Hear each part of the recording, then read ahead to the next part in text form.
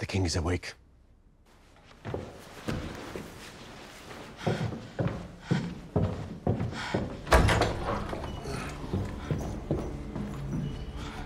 Henry.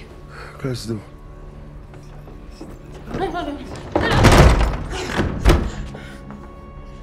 Henry? Come in. Joan. Please.